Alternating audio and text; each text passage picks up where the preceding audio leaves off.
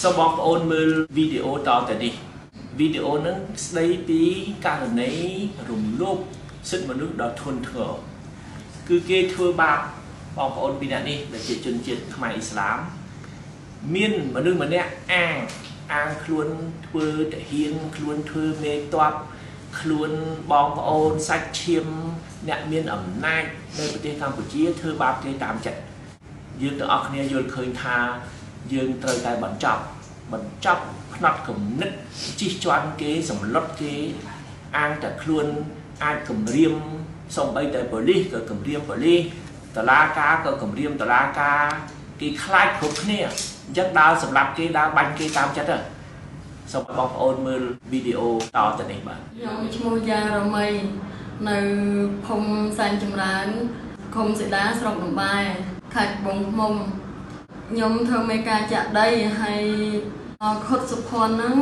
បានជំពាក់លុយនាងខ្ញុំចំនួន500ដុល្លារហើយសន្យាថាបិណ្ឌខ្ជុំរួចឲ្យខ្ញុំទៅយកស្រាប់តែថ្ងៃ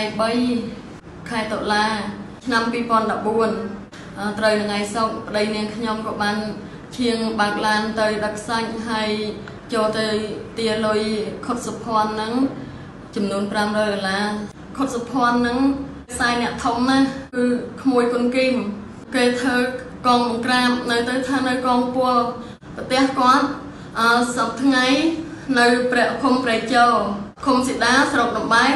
ខេត្តបងភ្នំសម្រាប់ពេលទៅខុតសុភ័ណ្ឌអត់បានឲ្យប្តីនាងខ្ញុំចេញពីផ្ទះទេថាបើចេញអញបាញ់ចោលហើយពេលគណៈហ្នឹង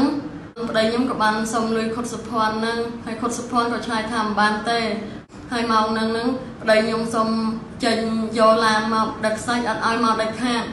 លុះត្រាផឹកស្រាអស់ទាលុយប្តីខ្ញុំថែមទៀតម៉ោងហ្នឹងខ្ញុំទូរស័ព្ទទៅសួរប្តីខ្ញុំខ្ញុំលឺឆ្លើយមកថាមិនឲ្យមកដាច់ខាតមកបាញ់ចោលខ្ញុំលឺអញ្ចឹងខ្ញុំជិះម៉ូតូទៅម៉ោង2:10កន្លះទៅដល់កន្លែងកើតហេតុហ្នឹងនៅកន្លះម៉ោងគាត់សុភ័ណ្ឌក៏បាញ់យកមកហ្មង ហើយបានបាញ់នាងខ្ញុំអីខ្ញុំប្រឹងអូសប្តីខ្ញុំមកចេញច្រកលបងក្រៅហើយហេតុអីគាត់ឲ្យអ្នកយាមចកានេះពួកម៉ាក់គាត់នេះឲ្យបើកទ្វារលបងឲ្យអញអញបើកឡានបុកពីអ្នកនឹងឲ្យងាប់តែម្ដងស្មងនឹងខ្ញុំប្រឹងអូសប្តីខ្ញុំឡើងលើក្រែហើយហេតុអីគាត់មិនសុខចិត្តទៀតគាត់ទៅយកកំភ្លើងមកអាមេបញ្ចូលគ្រាប់គាត់បាញ់ប្តីខ្ញុំគាត់និយាយថាគាត់បាញ់សម្លាប់ទាំងពីរអ្នកនឹងហ្មងគាត់មកតម្រងក៏ភ្លើងនឹងចំថ្ងាស់ប្តីខ្ញុំហ្មងហើយខ្ញុំក៏បានពាំងប្តីខ្ញុំមកហ្នឹង ហើយដូចព្រះជួយខ្ញុំដែរឯពីអ្នកនឹងដែលភ្លើងនឹងមិនបន្ទោបើភ្លើងនឹងឲ្យបន្ទោខ្ញុំនឹងងាប់មុនប្តីខ្ញុំទៀតចំដើមទ្រូងហ្មងបាញ់4ដងអត់ចេញចាគាត់បាញ់ទាំងអស់5ដងប្រាអត់បាញ់លើកទី1ត្រូវជើងប្តីខ្ញុំឲ្យខ្ញុំប្រឹងអស់ប្តីខ្ញុំចេញក្រៅហើយគាត់ជាយាមមកបើកឡានបុកទៀតឡានគាត់មានសិដេះខ្ញុំលឿនចឹងខ្ញុំប្រឹងលើកប្តីខ្ញុំដាក់លើក្រៅចំចាំខ្នល់ជាតិហ្នឹងជាប់ផ្លូវជាតិអញ្ចឹងណាហើយគាត់បានជាយាម បើកឡានកិនមើលទៅបើកកិនអត់បានគាត់ទៅយកភ្លើងអាការស្វ័យបត់មកគាត់អាមេចូលក្របគាត់បាញ់តម្រងថ្ងាស់ដីខ្ញុំហ្មងគេឃើញមកនឹងញាក់សាច់ដែលប្រជាជនគេឃើញមកនឹងដូចវាអយុត្តិធម៌ពេកចំពោះខ្ញុំដែលប្រទេសមកសម័យហ្នឹងហើយបើមានអង្គើខោខៅហ្នឹងមកនេះវាអយុត្តិធម៌នេះគេថាខ្ញុំទៅយកអីពងមន់ទៅជល់នឹងថ្មហើយថ្ងៃខ្ញុំនៅសម្រាប់នៅទីពេទ្យពងចាម